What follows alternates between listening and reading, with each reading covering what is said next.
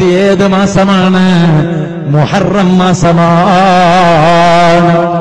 ഈ മുഹറം മാസത്തിൽ ഒരുപാട് സംഭവങ്ങൾ നടന്നിട്ടുണ്ട്. മുഹറം പത്തിന് വലിയ പുണ്യമുണ്ട്. മുഹറം ഒമ്പതിന് വലിയ പുണ്യമുണ്ട്. ഇന്ന് മുഹറം അതേ ഒന്ന് കഴിഞ്ഞു. രണ്ടാമത്തെ രാവാണ്. മുഹറം ഒന്ന് മുതൽ പത്ത് വരെ നോമ്പ് നോക്കുന്നത് സുന്നത്തുണ്ട്. അതിൽ മുഹറം പത്തിന് നോമ്പ് നോക്കുന്നത് വലിയ പുണ്യമാണ്. കാരണം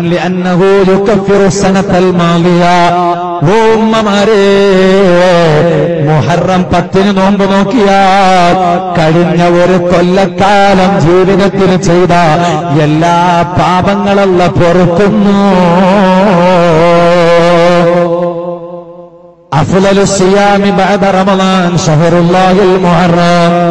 റമലാൻ കഴിഞ്ഞാൽ നോമ്പിന് ഏറ്റവും മഹത്വമുള്ളത് മുഹറമിനാണ്. നബി സല്ലല്ലാഹു അലൈഹി വസല്ലം തങ്ങൾ പഠിപ്പിക്കുകയാണ്. ആ മുഹറമിന്റെ ആദ്യത്തെ പത്തിൽ തന്നെ പത്താമത്തെ ദിവസത്തിന് വലിയ മഹത്വമുണ്ട്. പത്തിന്റെ തലേന്ന് ഒമ്പതുണ്ടല്ലോ. ആ ഒമ്പതിനും വലിയ മാറ്റമുണ്ട്. ഹബീബായ നബി സല്ലല്ലാഹു അലൈഹി വസല്ലം തങ്ങൾ മുഹറം പത്തിന്റെ നോമ്പ് നോക്കിയിട്ടുണ്ട് അതേ സമയത്ത് മുഹറം ഒമ്പതിന്റെ നോമ്പ് നോക്കിയിട്ടില്ല എന്നാലും എനിക്കും നിങ്ങൾക്കും നോക്കൽ സുന്നത്താണ്.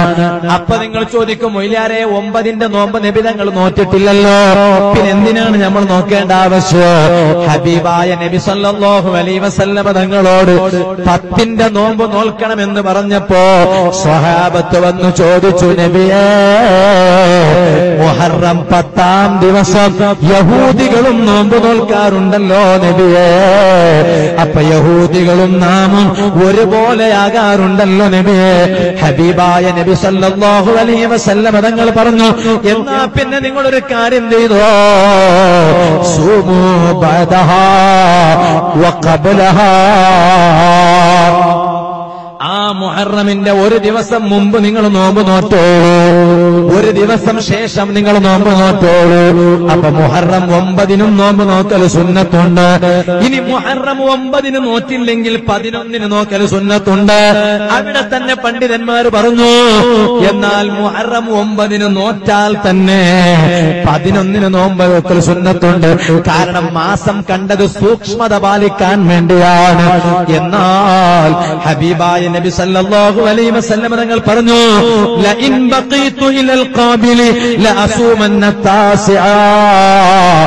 അടുത്ത കൊല്ലം ഞാൻ ജീവിച്ചിട്ടുണ്ടെങ്കിൽ ഒമ്പതിന്റെ നോമ്പും ഞാൻ നോക്കൂ. പക്ഷേ അടുത്ത കൊല്ലം ഹബീബായ തങ്ങൾ ജീവിച്ചിട്ടില്ല. പക്ഷേ ജീവിച്ചിരിപ്പുണ്ടെങ്കിൽ ഞാൻ നോമ്പ് നോക്കുമെന്ന് പ്രകടിപ്പിച്ചിരുന്നു. ആഗ്രഹം പ്രകടിപ്പിച്ചിരുന്നു. അതുകൊണ്ട് ഉമ്മമാരെ ആദ്യത്തെ പത്ത് ദിവസങ്ങളിൽ നോമ്പ് നോക്കാൻ പ്രയാസമുണ്ടെങ്കിൽ പള്ളിയിലെ ഉസ്താദുമാരൊക്കെ മൈക്കിലൂടെ പറഞ്ഞത് നിങ്ങൾ കേട്ടിരിക്കുമല്ലോ. വരാൻ പോകുന്ന ഈ മാസം മുപ്പതാം തീയതി അടുത്ത ഒക്ടോബർ ഒന്നാം തീയതി ഈ രണ്ട് ദിവസങ്ങൾ ഒമ്പതും പത്തുമാണ്.